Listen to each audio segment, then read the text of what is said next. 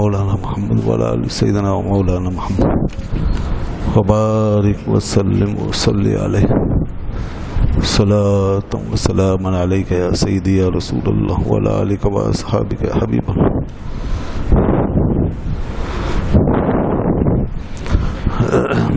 آج بہت سی صورتیں آئیں، معروف صورتیں پڑھی گئیں. سورہ رحمان کی تلاوت آپ نے سماعت فرمائی.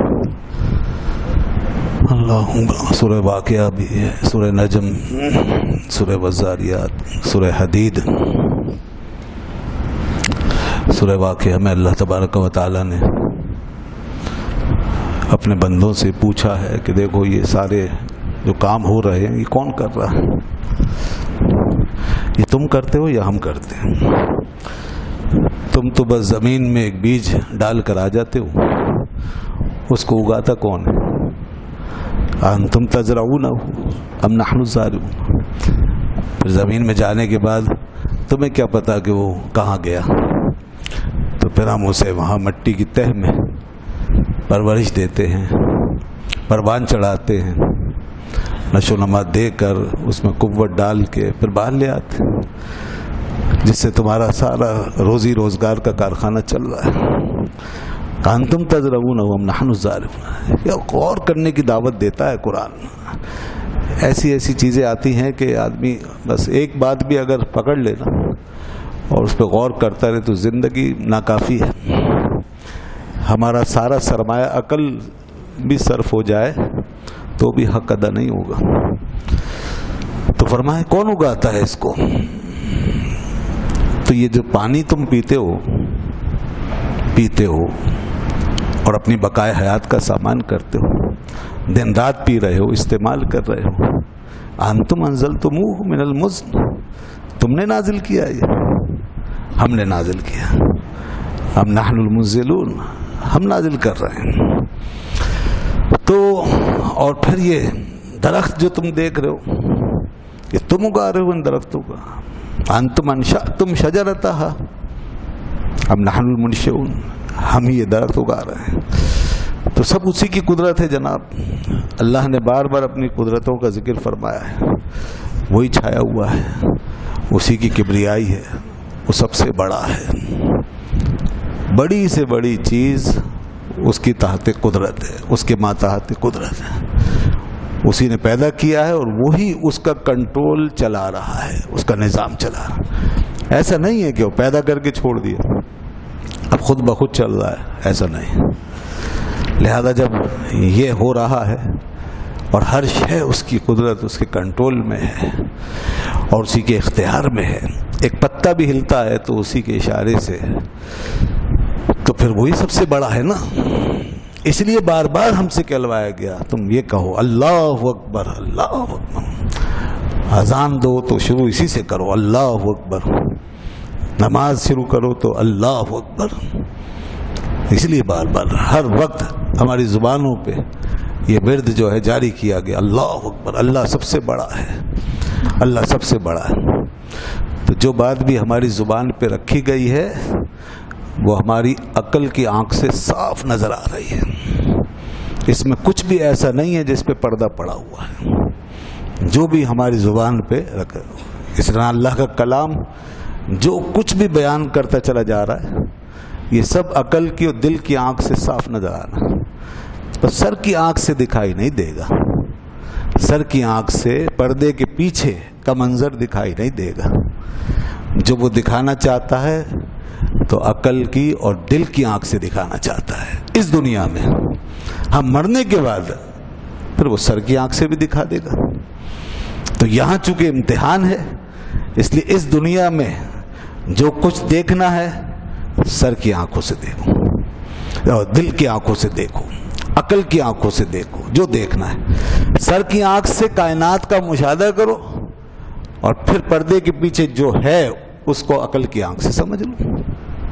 سر کی آنکھ سے اس کی تخلیق دیکھو، اس کی کائنات کو دیکھو، اس عالم کو دیکھو، اس کی نشانیوں کو دیکھو۔ تو چپے چپے میں نشانی ہے نشانی۔ اور پھر اس کے بعد عقل کی آنکھ سے اور دل کی آنکھ سے اس کو سمجھتے چلے جاؤ۔ یہی ایمان ہے۔ یہی ایمان ہے۔ اب جس نے سر کی آنکھ سے دیکھ کر عقل کی آنکھ کو نہیں دکھایا، جس نے سر کی آنکھ سے، چہرے کی آنکھ سے دیکھ کر عقل کی اور دل کی آنکھ کو نہیں دکھایا، بس وہی کافر ہے۔ وہی کافر ہے۔ کافر اور مومن کا فرق یہی ہے کہ مومن جو ہے سر کی آنکھ سے دیکھ کر عقل کی آنکھ کو دکھا دیتا ہے اور دل کی آنکھ سے منوا لیتا ہے، مومن ہو جاتا ہے۔ اس لیے وہ کلمہ پڑھ لیتا ہے، وہ حقیقت کو مان لیتا ہے۔ اور کافر صرف سر کی آنکھ سے دیکھتا ہے اور اسی کا ہو کے رہتا ہے۔ اس نے کب فرمایا تھا یہ؟ ڈیڑھ ہزار سال پہلے یہ بات فرمائی تھی۔ انا لمو سے ہم نے اس کائنات کو پیدا کیا ہے اور ہم اس کو مسلسل وسعت دے رہے ہیں۔ ڈیڑھ ہزار سال ہو گیا اس بات کو فرمائے ہوئے۔ کائنات کو پیچھے سورت الانبیاء کے حوالے سے بات آئی تھی۔ بگ بینگ تھیری بیان کی تھی میں نے۔ اس نے یہ بتایا تھا کہ میں نے کائنات کو کیسے پیدا کیا۔ کانتا رت کا ایک جوائنٹ میٹر تھا۔ فتک نہ ہوما پھر اس کو ہم نے پھاڑا. آج اتنی صدیوں کے بعد سائنس نے سر کی آنکھوں سے اس منظر کو دیکھا اور اس کو پایا. سائنسی تجربات کی بنیاد پر پایا اور کہا کہ ہاں ایک دھماکہ ہوا تھا. اس کو بگ بینگ کہتے ہیں. تو دیکھیے ذرا، ہے نہیں عقل کو ہلا دینے والی بات کہ آج ہم اس کو دیکھ رہے ہیں، سمجھ رہے ہیں. اور ڈیڑھ ہزار سال پہلے اللہ نے بات بتا دی۔ اور پھر یہ بھی بتا دیا، یہ سورہ زاریات میں آیا۔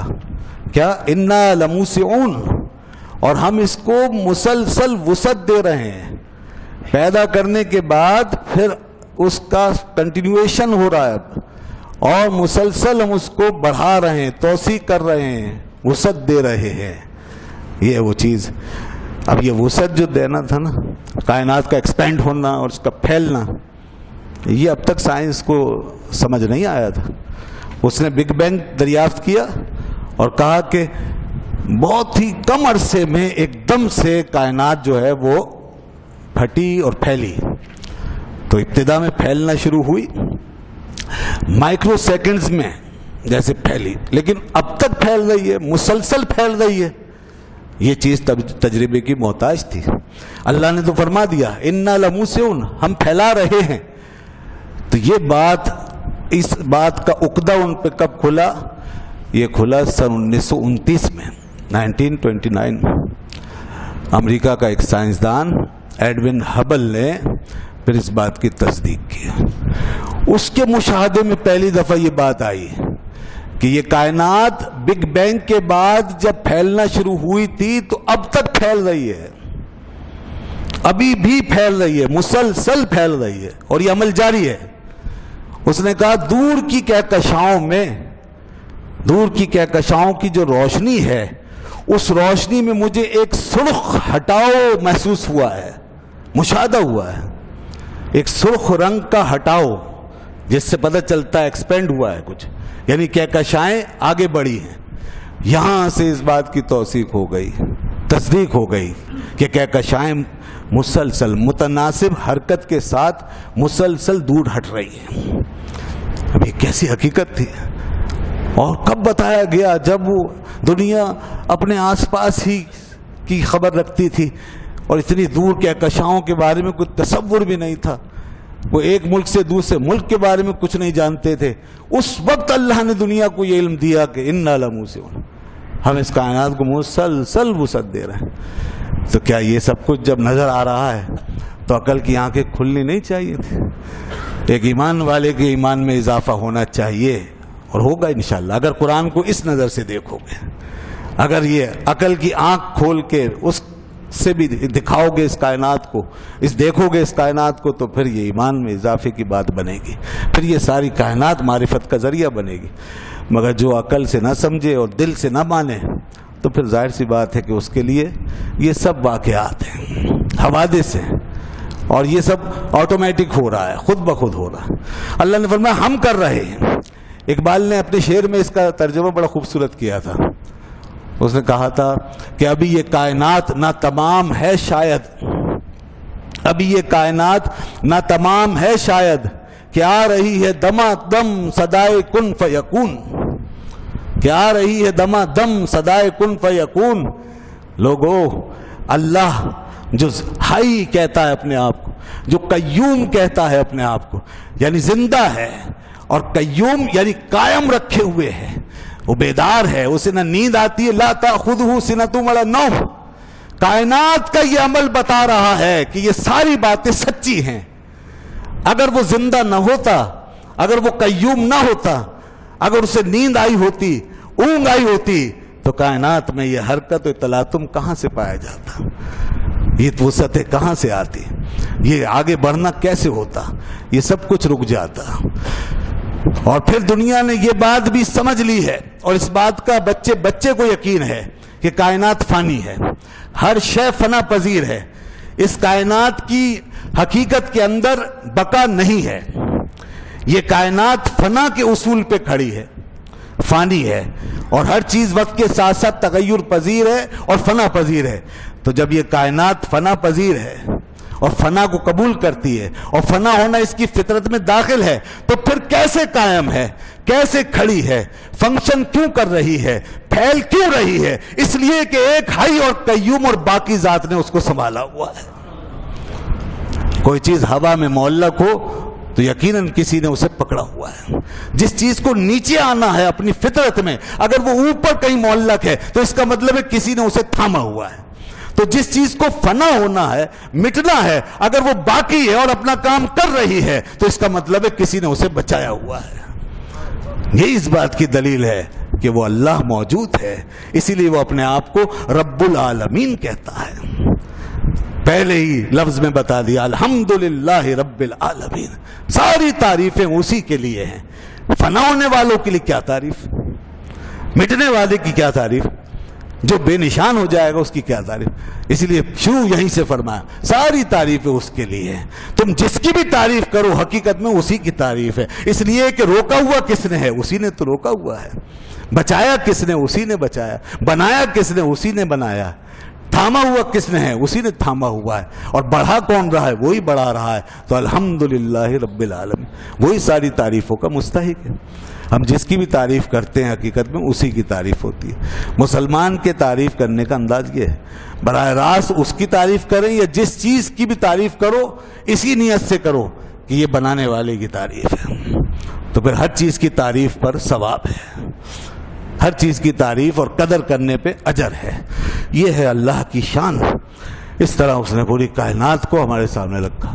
آج سائنس ان حقائق کو دریافت کرتی جا رہی ہے اور ہمارے سامنے رکھتی جا رہی ہے۔ قرآن مجید کی آیتیں واضح ہو رہی ہیں۔ واضح کر رہی ہیں باتیں۔ واضح کر چکی ہیں۔ اور اب ان کے حقائق ہمارے سامنے آ رہے ہیں۔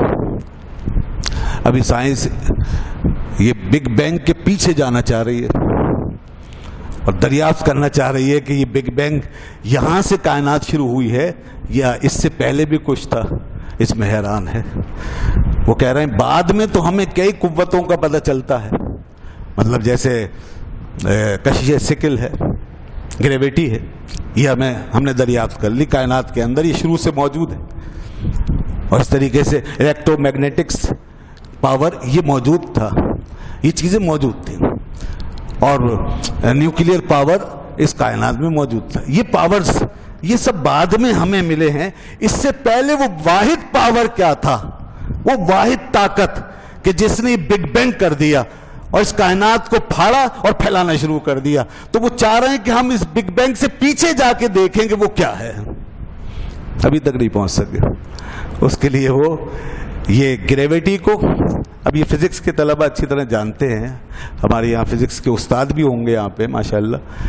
گریویٹی کو اور یہ کوانٹم میکینکس کو، ان دونوں کو جمع کر رہے ہیں۔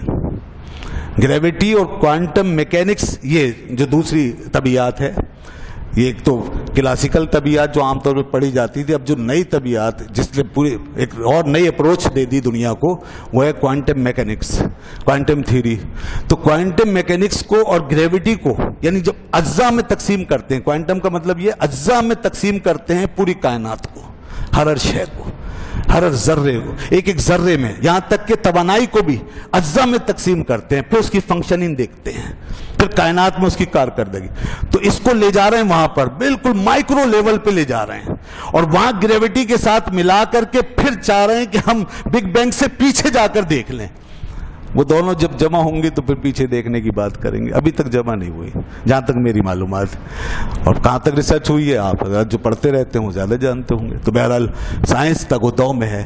تو دیکھیے گا آگے کیا کیا نظر آئے گا اور کیا کیا دیکھیں گے۔ سائنس ایک دن آئے گا، ہمارا ایمان کہتا ہے، ان کو اللہ کا کلمہ پڑھنا پڑے گا۔ ان کو من نہ ہوگا۔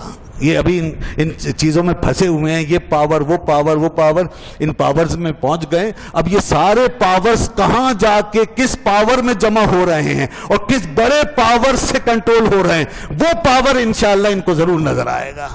وہی اللہ کا پاور ہے۔ اس کے لیے فرماتا ہے، دیکھو یہ ہم کرتے ہیں۔ اور جب وہ جمع کا سیگا استعمال کرتا ہے، حالانکہ وہ واحد مطلق ہے، جب وہ کہتا ہے، انا لموسون بے شک ہم تو ہم کہہ کر وہ اپنا پاور بتانا چاہتا ہے۔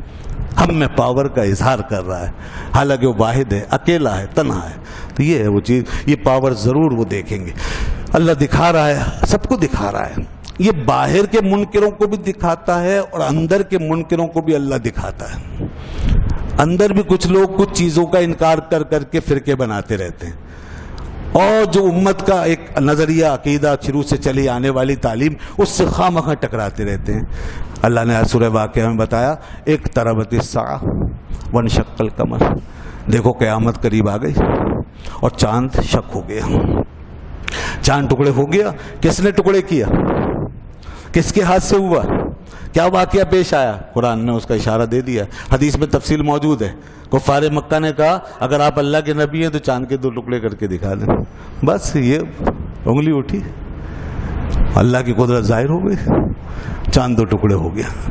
ایک اس پہاڑ کے پیچھے، ایک اس پہاڑ کے پیچھے۔ اللہ خورشید تھا کس زور پر؟ کیا بڑھ کے چمکا تھا کمر؟ بے پردہ جب وہ رخ ہوا، یہ بھی نہیں، وہ بھی نہیں۔ یہ بھی دیکھو، اللہ کا پاور دیکھو، اس کے نبی کی شان بھی دیکھو، جو اس نے اپنے بندوں کے لیے شانیں رکھی، یہ بھی دیکھو کہ کیا زور تھا کیا بے پردہ جب وہ رخ ہوا تو یہ بھی نہیں، وہ بھی نہیں۔ چاند و سورج کیا ہے چاند کو یوں اشارہ فرمائیں دو ٹکڑے ہو جائے، اور سورج کو اشارہ ہو تو واپس آ جائے۔ مقام صحبہ میں کیا ہوا؟ حدیث ہے۔ اور بہت سے محدثین نے اس حدیث کو مانا ہے۔ ہم کوئی اپنے طرف سے نہیں کہہ رہے یہ بات۔ لکھی ہوئی کتابوں میں موجود۔ محدثین نے لکھا ہے۔ اگر ابن تیمیہ اگر ضعیف کہہ دیں تو کیا ابن تیمیہ ہمارے لیے حجت ہے؟ ایک ابن تیمیہ کو کیوں لے کے بیٹھے ہم؟ یا اگر دو چار آدمی کہیں تو ہم کیوں ان کی بات، ان کی کے پیچھے چلیں؟ یہ کون سا فرض ہے؟ اتنے لوگوں نے جو صحیح کہا اس کو، حضرت علی رضی اللہ عنہ کی نماز اثر رہ گئی۔ حضور نے ان کی گود میں سر رکھا ہوا تھا۔ سفر کا مرحلہ تھا۔ حضور آرام فرما رہے تھے۔ نماز اثر جاتی رہی۔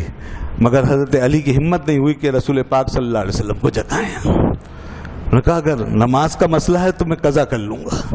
مگر حضور کی نیند خراب ہو گئی تو اس کو کہاں قضا کروں گا؟ یہ بے ادبی اگر ہو گئی تو اس کا کفارہ کیسے ادا ہوگا؟ اس لیے حضور کے آرام کے خیال سے بیٹھے رہے۔ مگر نماز کا بھی افسوس تھا۔ نماز کا بھی افسوس تھا، کیونکہ فرض ہے نا نماز۔ بالکل ایسا نہیں، نماز کی فکر ہی نہیں۔ تو آنکھوں سے آنسو نکل گئے اور حضور کے رخسار مبارک پہ پڑ گئے۔ حضور کی چشمان مبارک کھل گئی۔ اور میں علی، کیا بات ہے؟ رو رہے ہو؟ حضور، میری نماز چھوٹ گئی، نماز قضا ہو گئی۔ پھر رسول پاک صلی اللہ علیہ وسلم سورج کو پلٹایا۔ اللہ ہوگا سورج الٹے، پاؤں پلٹے، چاند اشاروں سے ہو چاک، اندھے منکر، اندھے نجدی، دیکھ لے قدرت رسول اللہ کے۔ ان کی شان بھی دیکھ لو۔ سورج الٹے، پاؤں پلٹے، چاند اشاروں سے چاند مگر لوگ نہیں دیکھتے ہیں، نہیں نظر آتا لوگ۔ بحث پہ بحث ہو رہی ہے خواہ مخواہ مناظرے ہو رہے اور یہ ٹیلی ویژن پہ بیٹھ کے یہ مسئلے حل کیے جا رہے ہیں، اس پہ بحثیں ہو رہی ہیں۔ یہ مناسب نہیں نہیں مانیں گے لوگ۔ لوگ نہیں مانیں گے۔ بھائی، چودہ سال سے بحثیں چلی آ رہی ہیں۔ بڑے بڑے امام گزر گئے۔ میں نے کل بتایا، حضرت علی رضی اللہ عنہ کے سامنے بھی یہ امت تھی، کھڑی ہوئی تھی۔ جب اتنے بڑے بڑے اصحاب پر فتوے لگ گئے، انہیں کافر و مشرق کہہ دیا اور ان لوگوں نے کہا جن کے ہاتھوں میں قرآن تھا، تو آج آپ اور میں کس کھیت کی مولی؟ اور ہم کیا سمجھا دیں گے؟ کبھی ٹی وی پہ بیٹھ کے مسئلے حل ہوں گے؟ جو ایک ہزار سال سے زیادہ جو باتیں چلی آ رہی ہیں اختلافات چلے آ رہے ہیں، پھر یہ اصل میں ٹی وی والوں کی ایک سازش بھی ہے۔ یہ میڈیا آنرز جو ہیں، یہ اس طرح کی چیزیں اپنی ریٹنگ کے لیے، اپنی پبلسٹی کے لیے، اپنی ارننگ کے لیے کرتے ہیں کام۔ چلو لڑاؤ ان کو، جیسے وہ سیاست دانوں کو لڑا رکھا ہے، ایسی مولویوں کو بھی لڑاؤ۔ یہ ہے۔ اور وہ جتنا کماتے ہیں نا کروڑوں، اس میں چند لاکھ وہ اپنے ان مہمانوں پہ خرچ کر دیتے ہیں۔ لو جی ان ان کے لیے بھی وہ بہت ہوتا ہے۔ اور یوں ایسے لڑا رہے ہوتے ہیں جیسے مرغے لڑتے ہیں آپس میں۔ اس طرح یہ عزت جا رہی ہے علماء کی۔ ان بحثوں کا کوئی حل ہے؟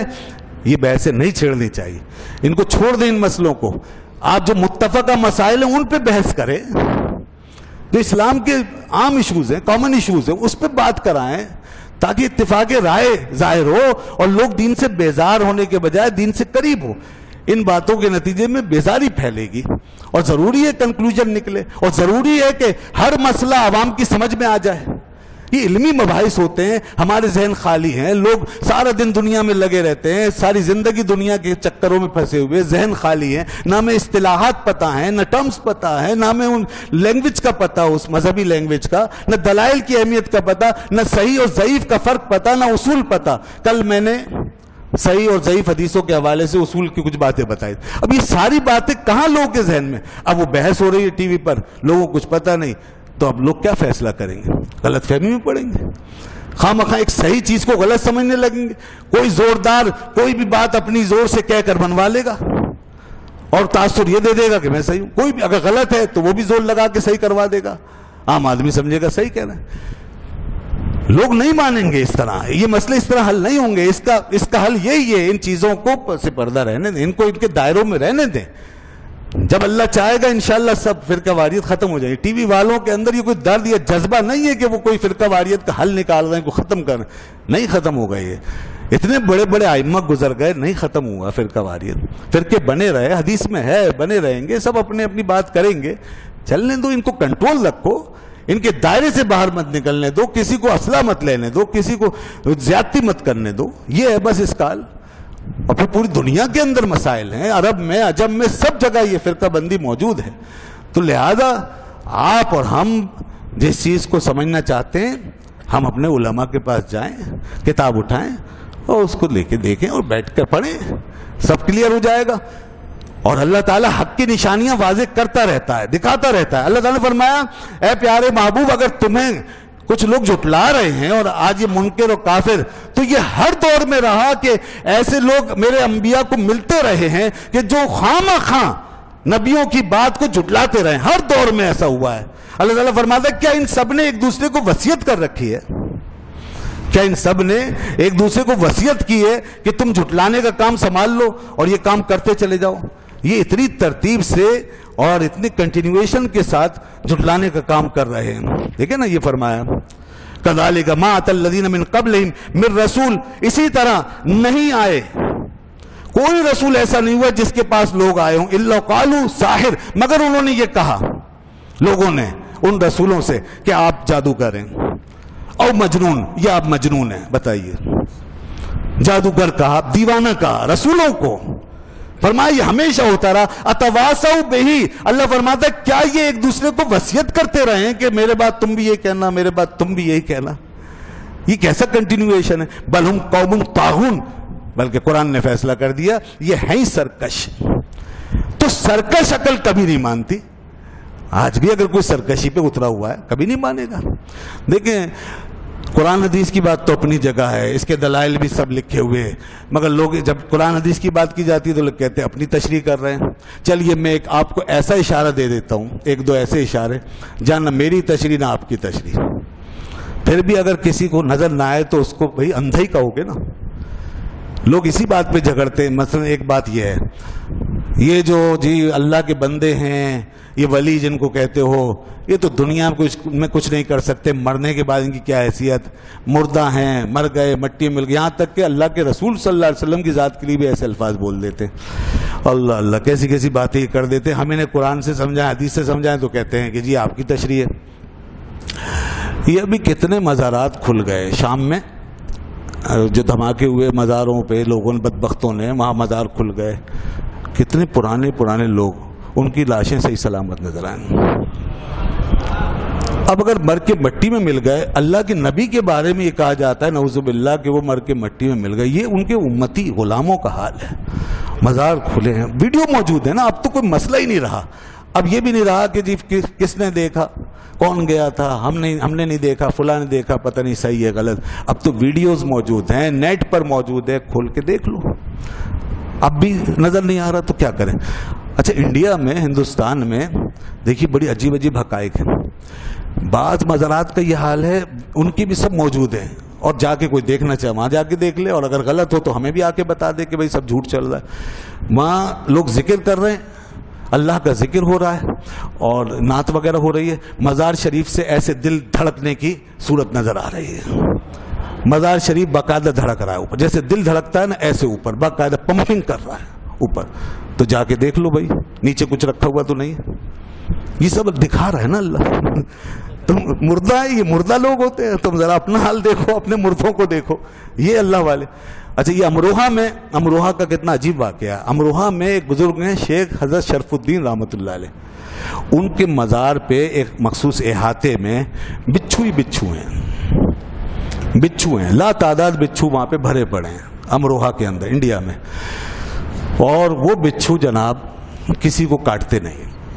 دنیا حیران ہے، بڑے بڑے سائنسدان آ گئے، حیاتیات کے ماہرین آ گئے، جانوروں کے ماہرین آ گئے۔ انہوں نے آ کے بچھوؤں کو ریسرچ کیا، دیکھا۔ اور کہا، یہ تو بہت خطرناک بچھو ہے، یہ کاٹ لے تو آدمی بچے ہی نہ۔ یہ بہت خطرناک بچھو ہے، مگر نہیں کاٹ رہا۔ ہزاروں کی تعداد میں بچھو میں پھر رہے ہیں۔ اس احاطے میں۔ آپ اسے ہاتھ میں رکھ لیں، سر پہ رکھ لیں، آپ جیب میں رکھ لیں، گود میں رکھ لیں۔ بچھو نہیں کاٹتا آپ کیوں نہیں کاٹ رہا؟ کیا ہے وہاں پر؟ وہ ان کے بارے میں مشہور ہے یہ واقعہ کہ وہ جب یہاں تشریف لائے تھے اپنی حیات میں، تو یہاں پر ایک اور بزرگ تھے، غالباً شاہ عنایت رحمۃ اللہ علیہ۔ تو شاہ ولایت یا شاہ عنایت؟ تو وہ یہاں تشریف فرماتے، انہوں نے کہا، آپ یہاں کیوں آئے؟ ہم یہاں موجود ہیں، آپ کی ضرورت نہیں۔ انہوں نے کہا، ہمیں تو ہمارے پیر و مرشد نے بھیجا ہے۔ کہا، آپ جائیے، آپ کہیں کام نہیں اب کہیں اور جا کے خدمات انجام دیجیے ان کا نہیں، ہم تو نہیں جا سکتے۔ ہمیں تو حضرت نے ہمارے پیر نے بھیجا ہے۔ کہا اچھا اگر تم یہیں رہو گے تو پھر میں تمہارے لیے کہہ دیتا ہوں کہ اگر مرو گے، فوت ہو گے، تو پھر تمہاری قبر پر بچھو ہی بچھو ہوں گے۔ بس، کہہ دیا ایک اللہ کے بندے نے۔ وہ بھی اللہ کی ولی تھے۔ تمہاری قبر پہ بچھو ہی بچھو۔ انہوں نے کہا، جواب میں، اگر یہ بات ہے ہماری قبر پر بچھو ہی بچھو ہوں گے تو ہم بھی کہہ دیتے ہیں کہ کسی کو اجازت نہیں ہوگی کہ کسی کو کاٹے۔ ہم بھی کاٹنے نہیں دیں گے۔ اور آج یہی ہو رہا ہے۔ بخدا جا کے دیکھ لو بھائی۔ وہ کلپ نکال لو، ویڈیو میں دیکھ لو، نیٹ پر دیکھ لو۔ ہزاروں ویڈیوز موجود ہوں گی۔ لوگ گئے جانے والے، جا جا کے دیکھا ہے۔ اور پھر دیکھیے کمال کی بات۔ اسی دائرے میں، احاطے میں وہ، اس کو منع کیا گیا بچھو کو۔ اس احاطے سے باہر کوئی لے کر گیا۔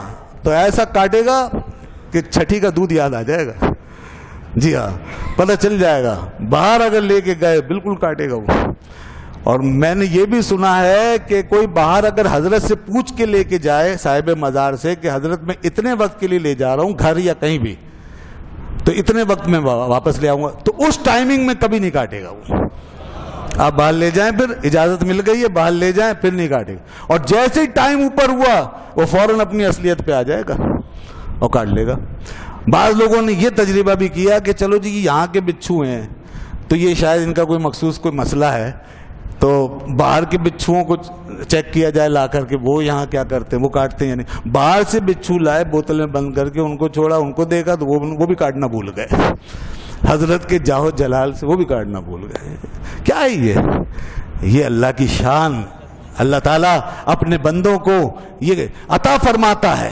یہ اعزاز، یہ عزت، یہ احترام ہمارے لیے کہ وہ جب منہ سے زبان سے کچھ بولتے ہیں تو وہ پورا ہو کے رہتا ہے۔ بے شک سب اللہ ہی کی قدرت ہے۔ ہم اس کی قدرت کے ممکن نہیں، میں نے اس لیے شروع میں یہ بات واضح کر دی کہ سب اللہ کی قدرت اللہ ہی سب سے بڑا ہے۔ لیکن اللہ تعالیٰ اپنے نیک بندوں کی عزت رکھتا ہے۔ ان کی لاج رکھتا ہے۔ جب وہ کوئی ارادہ کر لے تو پورا کر دیتا ہے۔ ہاتھ اٹھا لے تو دعا سن لیتا ہے۔ اشارہ کر دے تو اثر پیدا کر دیتا ہے۔ جب کوئی بات منہ سے نکال دیتے اسے پائے تکمیل تک پہنچا دیتا ہے۔ یہ اللہ ہی کرتا ہے، ان کی عزت اور ان کے اعزاز کے لیے، کیونکہ وہ اللہ کے محبوب ہیں۔ ایسی تو نہیں حدیث میں فرمایا فرمایا گیا، میں ان کے آنکھ بن جاتا ہوں جس سے وہ دیکھتے ہیں۔ بخاری میں الفاظ ہیں۔ میں ان کی زبان بن جاتا ہوں جس سے وہ بولتے ہیں۔ حدیث میں والا انسان انیلا ہوتے یا آخری الفاظ یہ، اگر یہ میرا بندہ مجھ سے مانگے تو میں ضرور اسے دیتا ہوں۔ اور دوسری حدیث میں فرمایا، اللہ کے ایسے ایسے بندے ہیں کہ لو اقسم اللہ اللہ برا اگر وہ اللہ پہ قسم کھا لے تو اللہ ضرور پوری کرے۔ یہ ہے وہ چیز۔ بس ان کی زبان سے نکل گئی، بات ہو رہی ہے۔ یہ ان چیزوں کو بھی ماننا ہوگا۔ اس میں اللہ کی قدرت کا انکار نہیں ہے۔ تو اب بھائی یہ مشاہدے کی باتیں ہیں، جا کے دیکھ لو۔ اب اس کو یہ کوئی مردے ہیں پیچھے جو یہ سب کچھ ہوگا جن کے لیے؟ یہ مردوں کا کنٹرول ہے۔ نہیں، یہ بات بتا رہی ہے کہ وہ قبر میں بھی زندہ ہیں۔ اور زندہ یعنی تصرف بھی اوپر آ رہا ہے، جو کہا ہے وہ پورا ہو رہا ہے۔ اور نگرانی ہے گویا پوری، کہ خبردار جو کسی بچھو نے یا کسی زائر کو کاٹا۔ نہیں کاٹ سکتا۔ تو ایک جانور اپنی فطرت بھول گیا وہاں جا کے، اور کاٹنے کی اجازت نہیں ہے۔ اس قدر اثرات مرتب ہو سکتے ہیں اللہ کے بندوں کے۔ یہ سب مشاہدے میں آ رہی جی۔ اور بھی کئی کئی ایسے مشاہدے موجود ہیں دنیا میں۔ مگر لوگ، وہی بات ہے جو اللہ نے فرمایا، یہ سب ایک دوسرے کو وصیت کیے ہوئے ہیں کہ ماننا نہیں ہے۔ اللہ ہدایت دے۔ واخر دعوان الحمد للہ رب العالمین۔ الحمد للہ رب العالمین۔ والصلاة والسلام علی سید الانبیاء والمرسلین وعلی